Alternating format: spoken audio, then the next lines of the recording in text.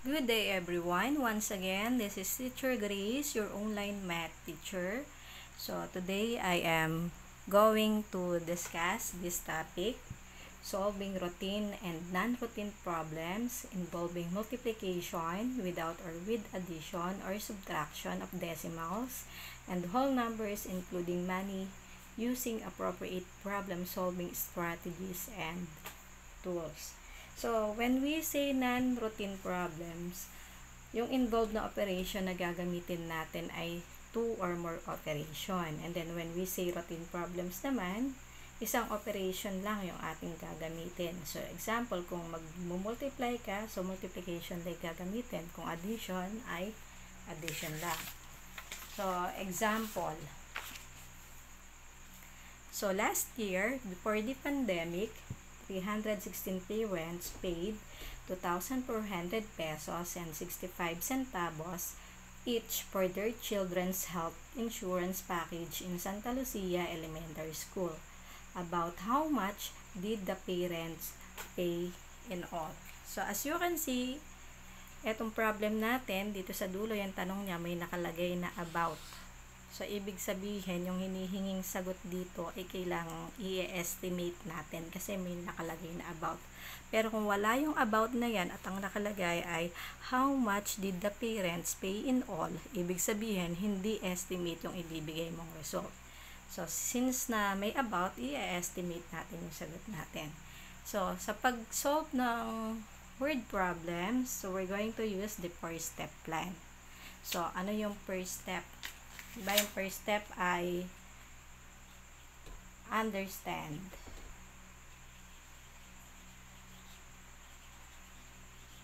So, under dito yung what is asked. So, so what is asked, ito yon ano, the amount of money did the parents pay in all. So, yun yung asked. And then, yung given natin, under pa rin sa understand yon given 316 parents and then yung isa pa 2,400 pesos and 65 centavos. And then after ng understand, ano yung kasunod nun? Plan. So how are we going to solve the problem? So under doon yung operation na gagamitin natin. Ano yung operation, ano? So, ang operation na gagamitin natin dito ay multiplication.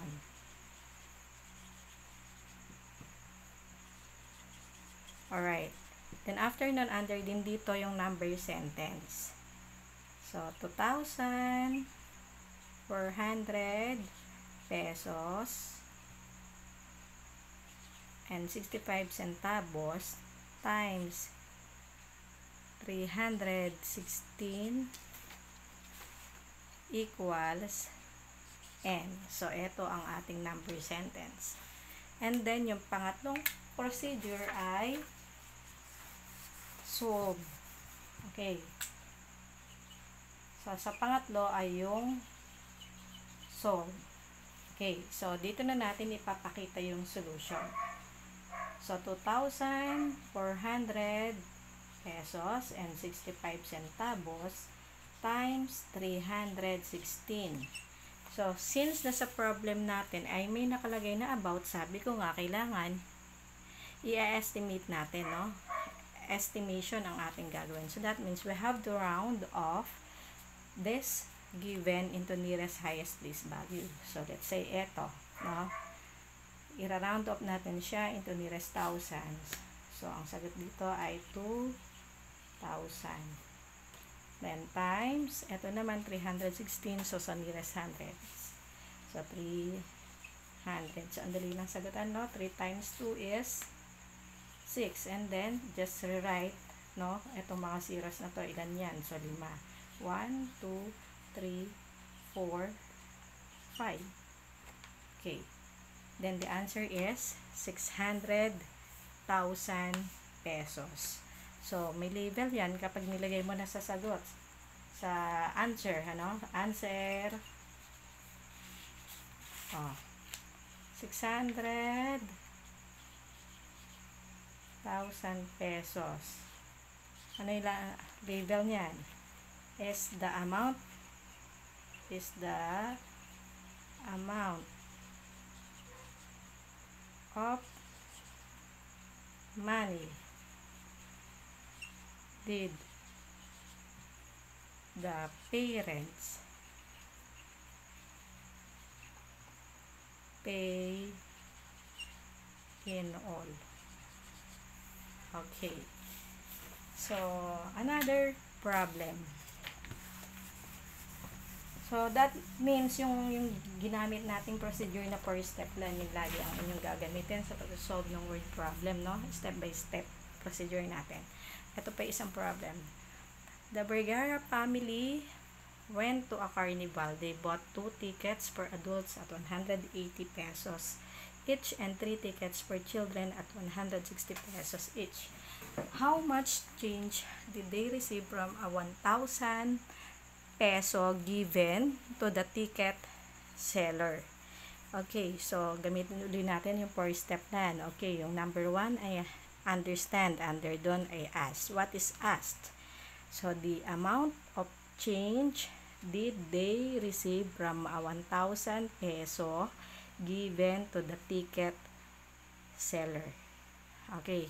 Then after nun, what are given? So, ito given. 2 tickets, 180 pesos, 3 tickets, and then 160 pesos. Na kasunod doon sa plan. O, under sa plan, ano yung operation na gagamitin natin? So, kung titignan sa problem, hindi lang isang operation yan. So, ano yung mga operation na pwedeng gamitin dyan? Magsusubtract ka. And then, mag-add ka rin. O, tignan natin sa number sentence. No? Sulat muna natin after sentence para alam natin kung ano yung mga operation na gagamitin. Okay, magkano yung binigay sa ticket seller? So, 1,000 uh, ile-less natin yung mga binayad, di ba? So, gagamit tayo ng parenthesis.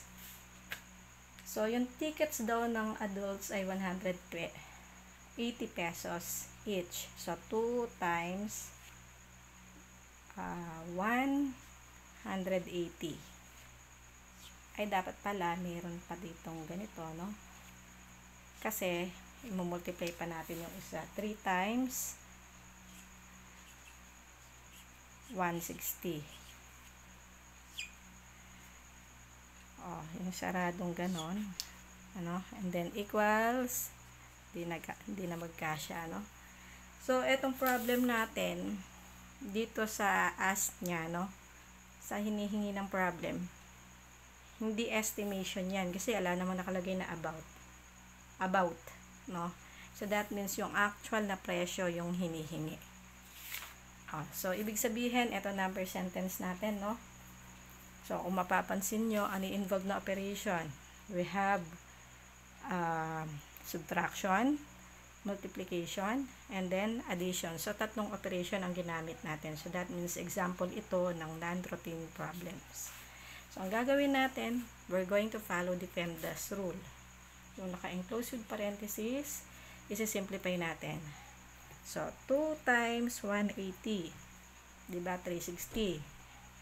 Kung hindi mo kayang i-oral, ay pwede kang mag-scratch. So, 360.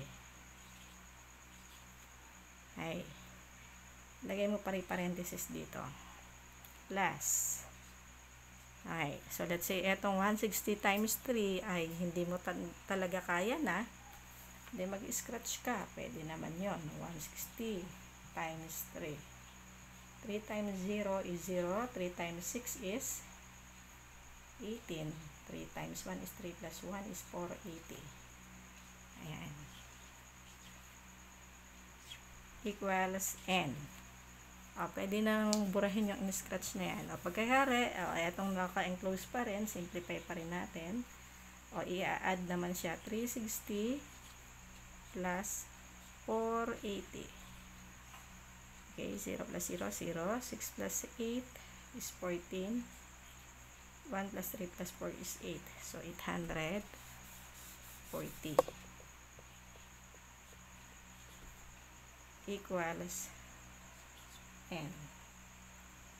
Okay, then afterwards, So, subtract na natin si 840 kay 1,000. Kung kayang i-oral ay okay lang. Kung hindi ay mag-scratch ka. Ah, dito na lang. 1,000 minus 840.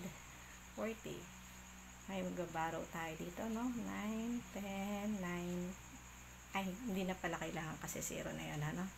So, ibig sabihin, ito 10 na siya. 0 minus 0 is 0. 10 minus 4 is 6. 9 minus 8 is 1. Then, the answer is 160 pesos. Uh, pag sinulat mo na siya dun sa part ng answer, so hindi lang pwedeng 160 pesos lang dahil may label yan. The change. Did they receive? Receive. From the ticket. From the ticket seller. Alright that's all for now. Thank you for watching